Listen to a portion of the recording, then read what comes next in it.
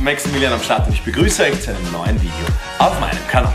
Liebe Freunde, auf Instagram habe ich es schon... Maximilian hier einfach folgen. Auf Instagram habe ich es schon bekannt gegeben, sehr, sehr viele Kommentare immer wieder. Schneid dir deine Haare wieder, schneid dir deine Haare, das sieht übel wack aus, du siehst aus wie eine Hexe. Sehr viele diverse Kommentare habe ich hier bekommen und meine Antwort dazu, nein.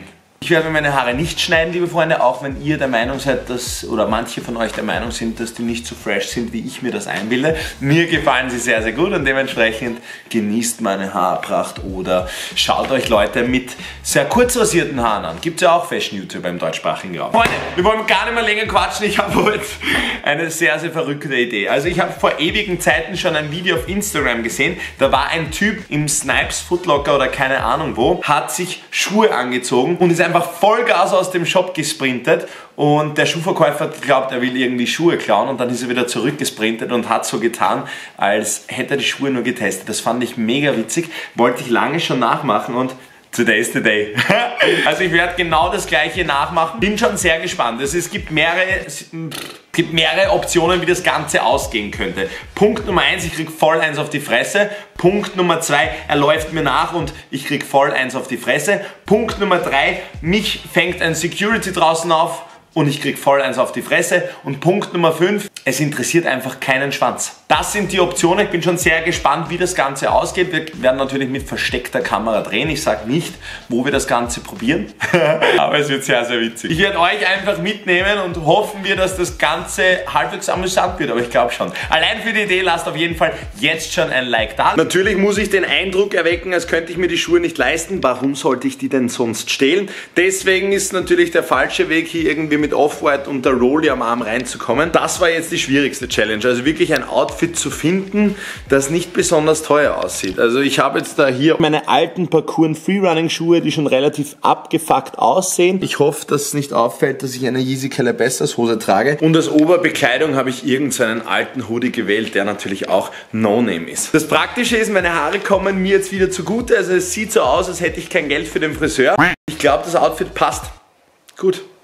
Dann machen wir uns auf den Weg. Los geht's! 20 Minuten später. Der Ankunft im Einkaufszentrum und ich muss ehrlich sagen, ich bin schon leicht nervös, weil ich keine Ahnung habe, wie das Ganze ausgeht. Also ich werde jetzt nochmal an dem Sneaker Store vorbeigehen und so einen kleinen Blick hineinwerfen, ob ich vielleicht schon auf den ersten Blick erkennen kann, dass da irgendein so MMA-Fighter oder Bodybuilder drinsteht, der mich nachher so richtig fertig macht.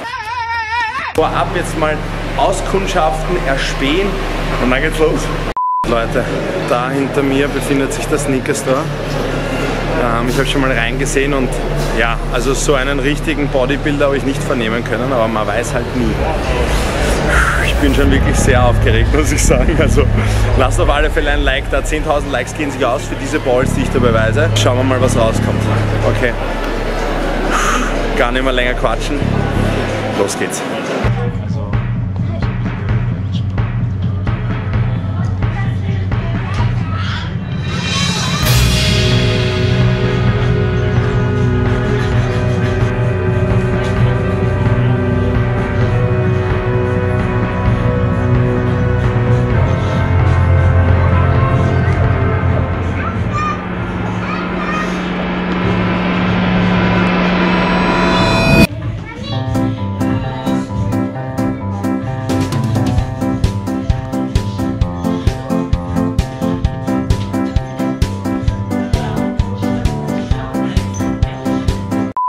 Okay Leute, das Ding ist, sie ist zwar nicht nachgelaufen, aber das Problem ist, Entschuldigung, sie hat die Kamera gesehen.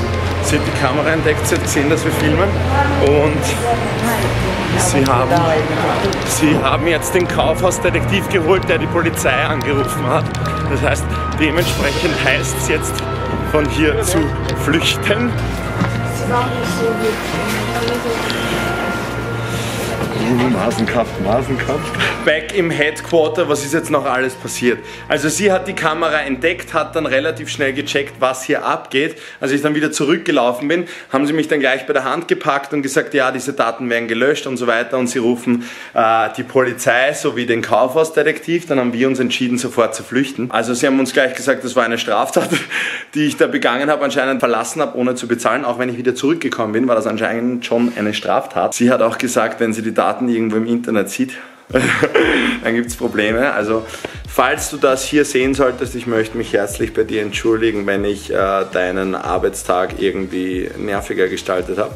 Tut mir sehr, sehr leid. Es ist äh, vielleicht nicht ganz so aufgegangen, wie wir uns das vorgestellt haben. Also ich habe keine auf die Fresse bekommen. Punkt Nummer 5 ist eingetreten. Es war einfach scheißegal. Also ich habe da 190 Euro Schuhe gestohlen und äh, ja, es hat sie nicht wirklich interessiert. Freunde, wenn es euch gefallen hat, dann lasst auf alle Fälle ein Like da. Schreibt mir unbedingt in die Kommentare, was ihr am witzigsten gefunden habt. Und ich verlinke euch jetzt noch hier und hier ein weiteres Video von mir. Schaut auf Instagram vorbei, MaxObimi. Da ist jetzt in letzter Zeit relativ los, storytechnisch. Also auf jeden Fall abonnieren drücken und wir sehen uns beim nächsten Video. Das war's von mir, euer Maximilian.